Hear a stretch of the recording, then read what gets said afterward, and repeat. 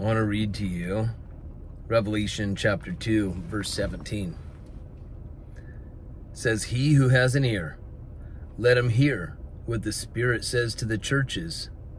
To the one who conquers, I will give some of the hidden manna, and I will give him a white stone with a new name written on the stone that no one knows except the one who receives it.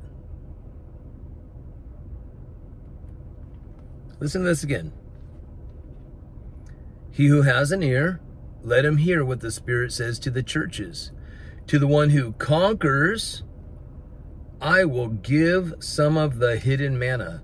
Conquer means to be victorious. Do you know the Greek word for victory is Nike, N-I-K-E, that Nike, that's how they would say it, but we here in the US, we say Nike, right? That, that brand means to be victorious or to conquer. To the one who conquers, I will give some of the hidden manna. Manna means, what is it? Remember that food that they got, that the Israelites got in the desert? Manna, what is it? What is it? Interesting that Jesus says, you know, um, you guys, you ate manna in the wilderness, in the desert, but I am the bread of life. He's the true bread of life, right? So when it says, I will give some of the hidden manna, I'm wondering if this is has to do with Christ. Or maybe, you know how the bread stands for um, his body that was broken for us? Maybe that hidden manna is what our glorified new bodies will be like. You know, I'll give some of the hidden manna. I'm not real sure about that. There's a couple different ways you could see that, right? A lot of, most people would probably say this, it represents Jesus you know, Jesus Christ, because he's our true bread of life. They ate manna in the wilderness, but I give you something else. I give you myself, Jesus says. But maybe this hidden manna has something to do with our new bodies that we receive, glorified, immortal, new bodies. And then it says, and I will give him a white stone. Now, if you stop, you think of white. Why white? Well, white, you know, we wear white robes. We're clothed in white robes. We're cleansed whiter than snow. We're made the righteousness of God in Christ. You know, we're clean because of the blood of the Lamb. So you get a white stone. Now, this word for stone is psephos in Greek. P-S-E-P-H-O-S, psephos. It means a pebble or a small smooth stone. David, when, when, he, when he reached into the brook, he pulled out five smooth stones, right? You're unspotted, you're unblemished in Christ, you're smooth. So you get a white pebble or smooth stone with a new name written on that stone that no one knows except the one who receives it. Pretty interesting stuff to ponder and meditate on. By the way, here's some stuff. I, I, I researched this thing about white stones, and here's what I found out. In ancient times, people of 10, so 10 people would gather together and they would vote by casting stones. A white stone typically meant yes, and a black stone meant no. Interesting, right? A white stone means yes, black stone means no. What's Second Corinthians chapter 1 verse 20 say about Christ? Second Corinthians 1:20. We'll just go over there real quick. says for all the promises of God find their yes in him. That is why it is through him that we utter our amen to God for his glory. So all the promises of God, they find their yes in him. In who? In Jesus Christ our Savior. Yes and amen. Everything in Christ is yes and amen, right? So here we go. So white stone, as they, you know, they would cast stones, kind of like how people roll dice. The white one, yes. The black one, no. So God receives you. He accepts you. He says yes. You know, when you, when a bride says, I do, to the bridegroom, she's saying yes I will marry you.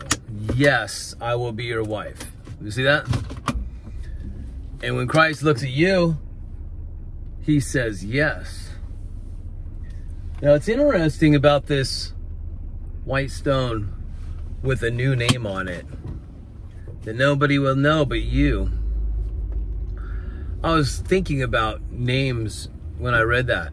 I was thinking about names in scripture. Like Abram, God called him Abraham. Was it Abram that was written in the book of life, or was it Abraham? How about Sarai? God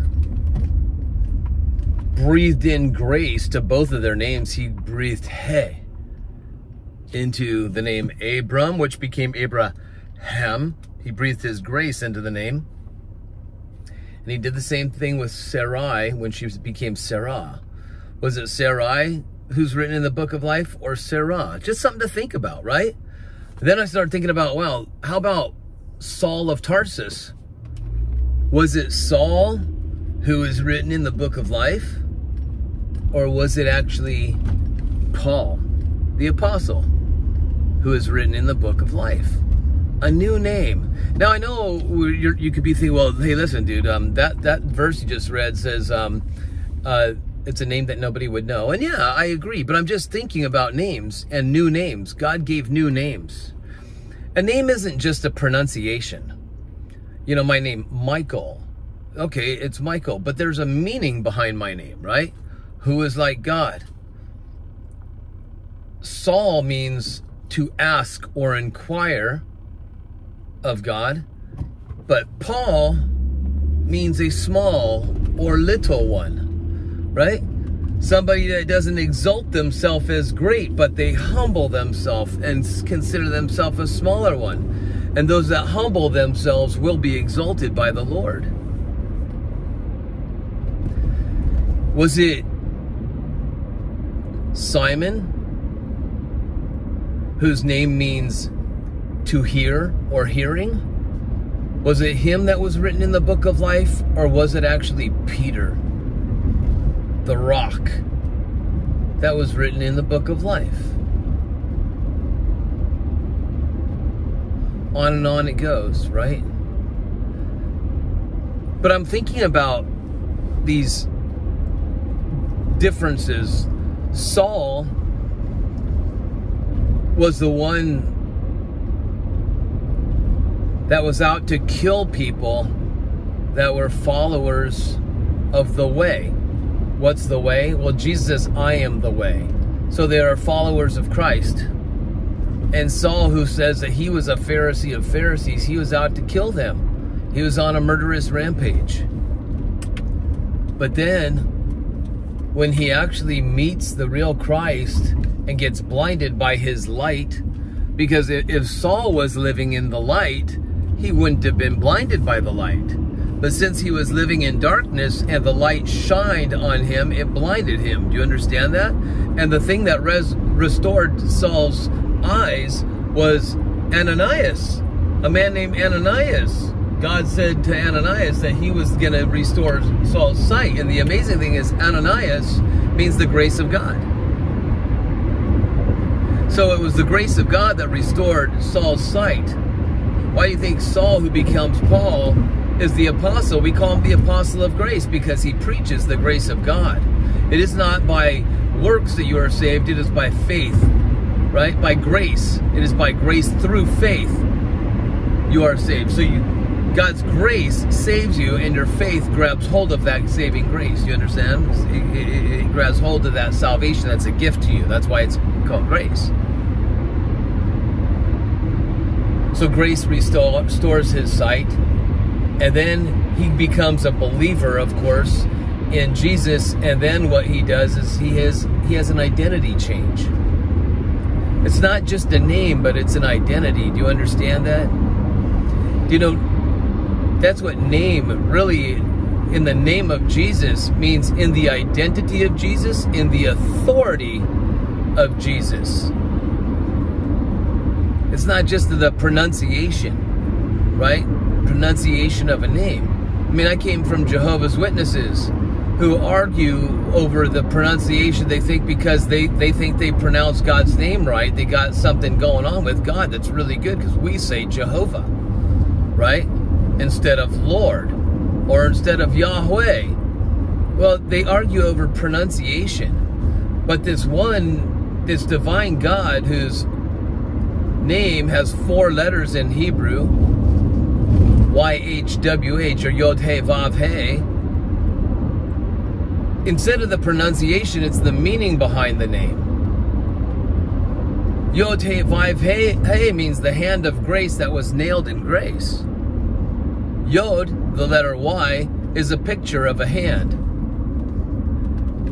H,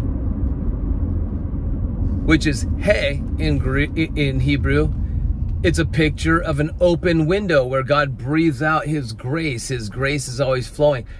That's why it's the fifth letter of the Hebrew alphabet, and five is the number of grace in Hebrew. So you got Yod He, hand of grace, and then you got Vav, which is in English W or even V, right? Vav. And Vav is a picture of a nail or a spike.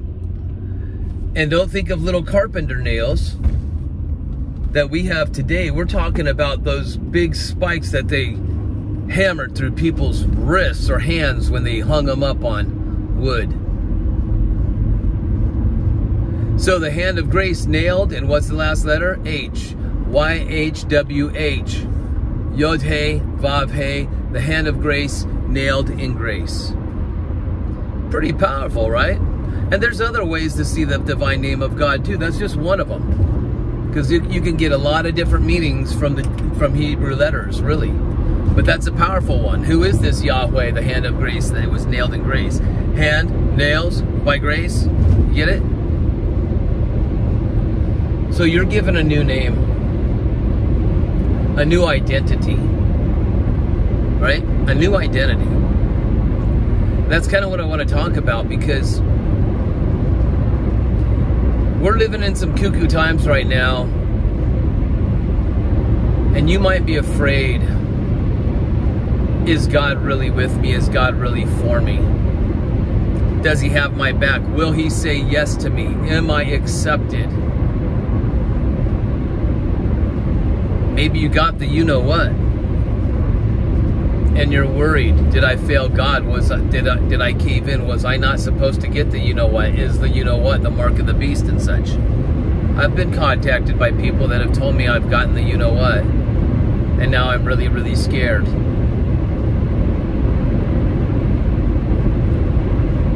I want to tell you something about identity. It's amazing what you can learn from Paul because since Paul's vision, he, he was spiritually blind, and so his spiritual blindness led to his physical blindness.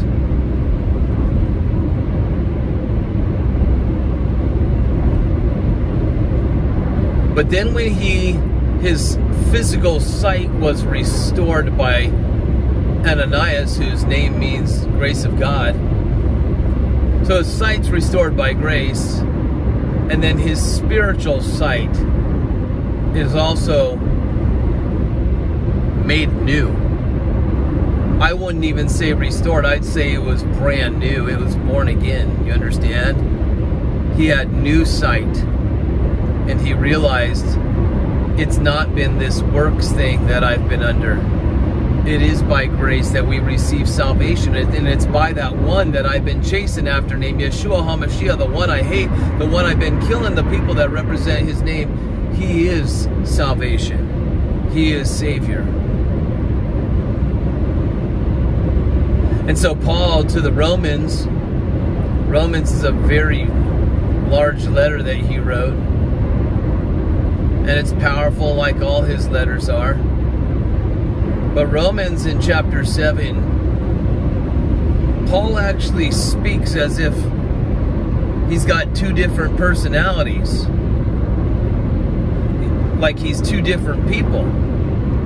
It's almost like he's talking about Saul and then he's talking about Paul. the old man and the new man. See, he mentions this old man that does the very thing that he wishes he wouldn't do. He says that guy practices evil. But then he talks about this new man that doesn't want that at all, doesn't want to do any of the stuff that the old man wants to do. So he's got this like tug of war, this conflict within. And he talks about that guy that commits sin in him. Who is he? Says it's the flesh because that's where sin dwells. He says nothing good dwells in that that guy, that flesh because sin dwells there. But he also says to consider yourself crucified, dead to the flesh, but alive in Christ, alive in spirit. So your true life, your true identity is in spirit, not in flesh. Yes, you still carry the flesh around. But that's why he says to consider it. Consider it dead. Believe it. Trust that God sees that old self dead. That old self in you that sins, that desires to sin, whatever. God sees that as dead. So he's saying, see the way God sees you. Consider yourself dead to the flesh, but alive in Christ, alive in spirit. I mean, 1 Corinthians 6 17, he says, the one that's joined to the Lord is one spirit with him. He doesn't say you're one flesh, one soul. He says you're one spirit. So God sees you in spirit. And your spirit is not separated from Christ. Your spirit is one with Christ. It's been joined together as one. That's why I always talk about that number 11. Because in English, 11 looks like two number ones. And it is two number ones but it's two number ones they exact they, they reflect each other exactly as this one is so is this one right here right now in this world. As he is so are you in this world. Do you get it? First john 4 17 and when you take the two number ones that reflect each other you join them together they become one number. 11 looks like two but it's one number. Your spirit is one with the spirit of christ in your mind, you might think you look like two, but you're actually one. But see, what the enemy wants to do is come as a thief to steal, kill, and destroy. He wants to steal your belief about who you are so he can kill you. So he can destroy that can destroy that physical body that you live in. Paul spoke about a guy in the Corinthian congregation that was that was hooking up with his father's wife. This guy took his own dad's wife. His dad obviously got remarried. Maybe his his the, the boy's mom died, so the dad got remarried. And he had and so this guy has a stepmom. And maybe she's younger than him. Younger than the dad's son. Who knows? But there was something that made this guy want to take her for himself. So he's taking his own dad's wife and having sexual relations with her. And Paul said this is unheard of even among the people that are not believers. They don't even talk about this kind of sin. And this guy's doing it. And he's in the congregation and you all know about it and nobody's doing anything about it because he's saved by grace. So hey, let's live licentious if I want, do whatever I want. And Paul wants this guy to have a mind change, you see, because this guy's sticking with his ways, sticking with his beliefs, instead of doing what's called metanoia, change mind. Or in English, repentance. But it's truly a change of mind. Because if you truly did repent, it would first start in the mind and then your habits would follow. You understand? But most people want to make their habits change first and then maybe their mind will catch up. No, no, it doesn't work that way.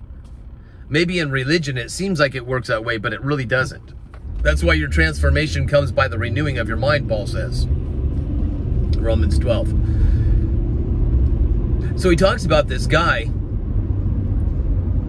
who's living totally in the flesh which means this guy is saying, you know what, Satan, I'm in agreement with your lifestyle. I'm going to live the way you want me to live. So now that he's taken sides with Satan, Paul says, okay, let this guy go to him, and Satan's going to kill him. Let the devil kill him. kill his body, but his spirit would still go be with the Lord. His spirit would still be saved. That's what Paul said. Because the true identity identity of this man was where his new name was in the spirit. His new name. And even though he was living carnally and in the flesh, and listen, the consequences are even death, Paul says. Because that gives the devil an open door. But the guy's spirit would still be with the Lord. Which makes me understand so much more when I read about things that Paul might say neither fornicator, nor idolater, nor adulterer, nor men who lies with men, nor drunk, nor glutton, nor thief, nor liars, etc. They will not inherit the kingdom. And you're like, oh man, but what if I've done one of those things? What if I've done one of those things? And then your typical Christian will say, well, you got to practice it over and over again. Well, how many times? What, what, what's too much to where you won't inherit the kingdom? Two times, five times, 77 times? How many times till God says, okay, you just crossed the limit? Or perhaps is the one that doesn't inherit the kingdom is that old man. The Saul it's the Paul that inherits the kingdom. Paul is written in the book of life, but perhaps the Saul. Do you understand what I'm getting at? Just speaking metaphorically here. See, you're not going to take your old person, that old man, sin does not go into the kingdom with you. If you were to get harpazoed or raptured up right now to meet the Lord in the sky, well, you might think you're, you're you see, Paul says you're going to change in the flash of a moment or in the twinkling of an eye, you're going to be changed. You're going to put on a glorified, immortalized, spiritually glorified new body. Greek word is oiketerion. You'll put on oiketerion. And you might think, well, that's so that I can survive the elements, because who knows how high up I'm going to go up to be with the Lord, meet him in the air or in the sky, in the clouds, right? So you might think it's so they could survive the elements, and perhaps that's part of it. But I would say this you're going up and you're not bringing sin with you. So when your body is changed instantly, that's when your spirit, your soul, and body now are joined together as one. Your body, your flesh will not have sin in it anymore. Your soul, your mind will not have sin in it anymore. Do you understand that? It'll be perfect just as your spirit is. So your spirit is housed inside of you. Just like Christ was housed inside of the body of Mary, your spirit is housed inside of the body of you. And as Christ was completely sealed in Mary, sin couldn't get in him and sin couldn't come from him. Well, the same from your spirit, man. Sin can't get into your spirit and sin can't come from within, can't come out of your spirit. It can't be produced, or in Greek, poio. It can't do something called poio. Your spirit cannot produce or manufacture sin. That would help you understand 1 John 3 9 so much better because it uses that Greek word poio and it tells you about the seed of Christ that's in you. And that seed that's in you is the one that's incapable of sin. Your flesh,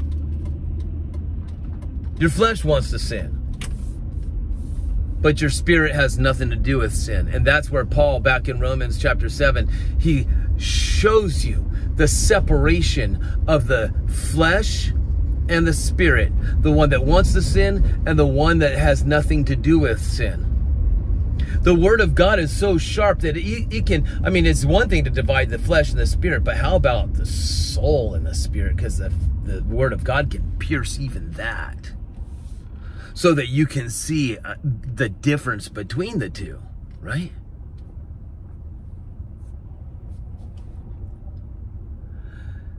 The thief wants to come and rob you so that you don't know who you are. And that so that you will believe that the one that's messing up is the real you. So he can steal your hope and destroy your beliefs. So you'll cave in and give up and maybe even go along with whatever the world tells you to do today. But no matter what happens to you, even if you're you were to step out of that body of yours, that spirit man of yours is not going to go into a place weeping and gnashing its teeth and burning forever and ever and ever. No, you know what does that? Is that old self, the old man. That old man goes into what you might call eternal destruction, never to be seen again. But that's not you. You go into life aionios. You might call it eternal. Aionios is an age-long quality, Christ quality of life. And it's beautiful.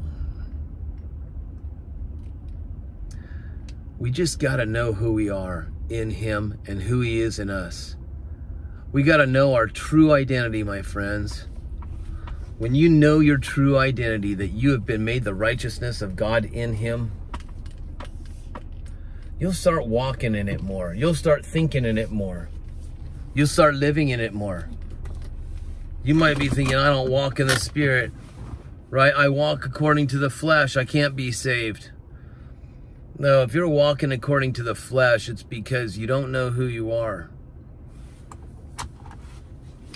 You can't change your flesh with your flesh.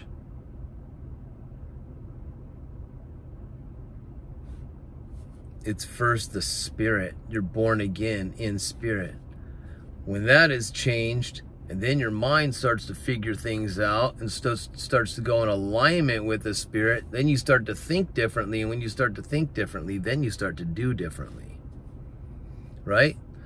And even Paul, some people they just see him as the greatest you know he's the greatest ever. And and um, however you see paul but even paul had struggles in that flesh. And he openly talks about it in romans chapter 7 and he's not encouraging wicked evil behavior. He's just saying yeah i deal with this too. So you got to know the division between who you are in flesh and who you are in spirit. Because in spirit you got a new name it's written on a white pebble.